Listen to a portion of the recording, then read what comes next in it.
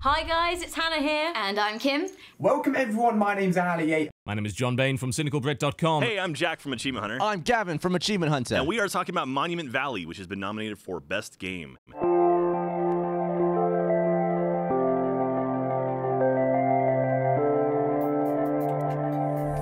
Monument Valley tasks you with traversing beautiful levels filled with impossible geometry and scenes so gorgeous you could frame them on your wall and guests would be none the wiser. Lovely looking game. It looks very, very good. It's it's the only mobile game I could see that was nominated for all the, Yeah. the best games. So, in it, you are a princess who must navigate some Escher like puzzles. It sounds simple, but once you progress through the levels, things definitely get harder. It's it's kind of like you know the end of the labyrinth when David Bowie's walking around and he's like whipping around. and- See his bulge in that movie? Forget about the baby, like that whole bit. You remind me of the babe. It's basically the labyrinth, the mobile game. And once you get hooked, it's hard to put it down. What's more, rather than being held back by the touchscreen, it takes full advantage of twist and drag controls to make the experience both accessible and enjoyable. And do you know what? I think this is in with a good chance because President Spacey plays it in House of Cards Season 3.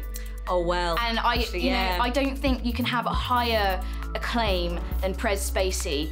And it looks really, really cool. It- It's a game that makes you use your brain.